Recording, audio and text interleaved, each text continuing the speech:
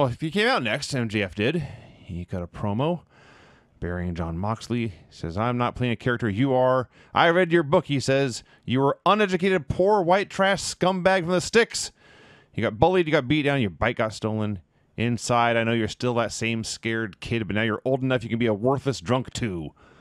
And this is a message to you, to Chris Jericho, and to Bryan Danielson. Bad things happen when people get in my way. You should take a vacation and skip Arthur Ashe. Talking about being the demon that Moxley can't slay. And finally, he says a young group of gentlemen helped him procure this uh, poker chip at the pay per view. It's the stable that is on retainer, led by his best friend, a man he has known since he was 19, Stokely Hathaway and The Firm. Out comes Stokely Hathaway and The Firm. Stokely is talking about how MJF wanted to quit. You should be happy about this. He connected some more dots for you. MJF wanted to quit AEW until Stokely Hathaway met with them, said, if you quit, they'll get what they wanted. It's time for you to go back and get what you want. And so, as Stokely explains, we prayed and prayed and came up with a plan. I laughed so hard at that part. So they are their own stable, they are the firm, and when MJF doesn't need them, they're going to go their separate ways. And at this point, Maxwell disappeared. He disappeared when they came out. I thought I thought he was at least in the ring when they got there, but yeah. No, I think he was on his way out when they got there. So, okay, that's a weird thing, but sure, why not? So he declares he is not a publicist, nor a manager, nor an assistant. He is a friend. He's been spending time with everyone backstage, watching reruns of Living Single with the House of Black. And explains the juicier the gossip, the more power you have. Good old fashioned blackmail wakes him up in the morning. And he goes through the members of the, of the firm and what each of them wants. Now, three of them, the, the, the funny one, the first one is actually the funniest. So I'm going to say that for last. But Lee Moriarty, he wants to be the Ring of Honor Pure Champion.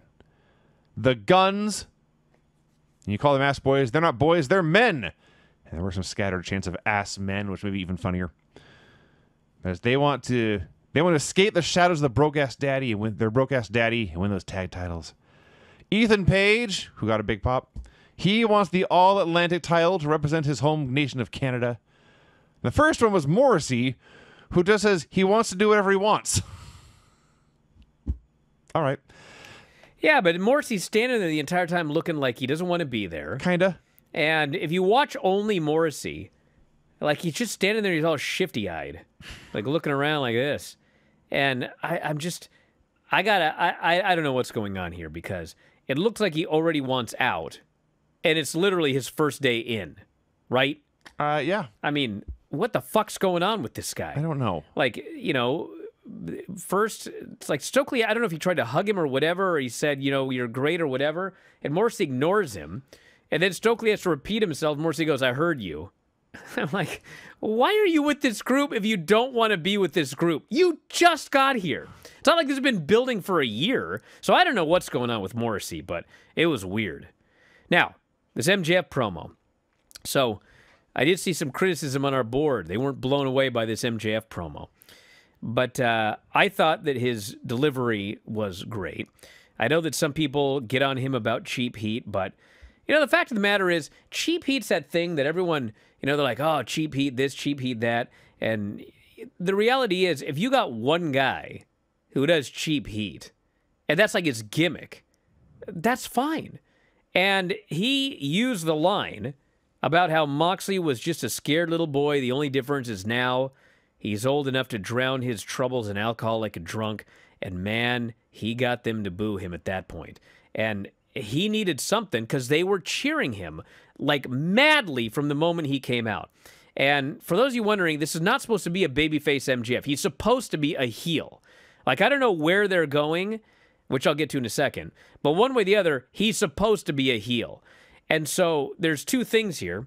One of them is that he was anti authority.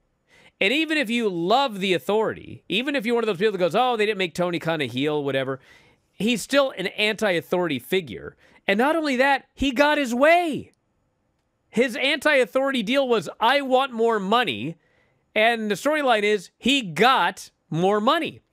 So, you know, there's going to be a portion of the crowd that's cheering him as a babyface for that. He's also been gone.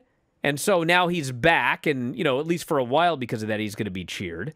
but he's trying very, very hard, obviously, to get himself booed, and this crowd didn't want to boo him. Now, as far as like the the content of his promo,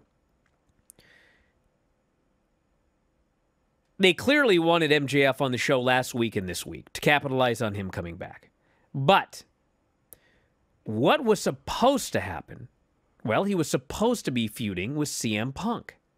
Well, CM Punk got in a locker room fight and he got himself suspended and he also got injured and we may not see him again for 9 months, we may never see him again. So, now we've got a tournament to determine a new champion. Well, MJF can only say so much. I mean, you can't go too hard on Jon Moxley because either A, you're revealing that Moxley's going to win, or you're teasing something that is not going to be the next title feud. So you kind of have to talk about Moxley. You kind of have to talk about Bryan Danielson. You kind of have to talk about Chris Jericho. But you really can't be hyper focused on anything because now we're waiting to find out who the champion is going to be. So if you didn't like the the promo and you felt that it was whatever, I mean, this is what they're working with right now. Once we have a new champion next week, everything can be focused again because now everybody's going to know what direction they're going. Now, nobody knows what direction they're going. And if you say too much, you reveal the direction. So, anyway, they're in a tough spot, is my point. This whole segment was very long. Yeah, these people were not in Stokely. Yeah, it took up a lot of time. Well, it wasn't just Stokely. They weren't in anything for the most part. Yeah. This is how the show begins, really. Asuka does a back kick, camera cut. She does a back fist, camera cut. She starts to run, camera cut. She hits a hip attack, camera cut. She drops to her knees, camera cut. She throws a kick, camera cut. She stands up and screams, camera cut to people brawling on the floor. I was furious. Do you understand? I wanted to shut the show off and not watch anymore. If you enjoy these videos, for just $7.99 per month, you can enjoy full length editions of The Bryan and Vinny Show, Wrestling Observer Live, Figure 4 Daily with Tom Lawler and Lance Storm, the Mad Men podcast, Speak Now Pro Wrestling with Denise Salcedo, and more, plus hundreds of archived shows, all in beautiful HD. Don't miss out. Join us today.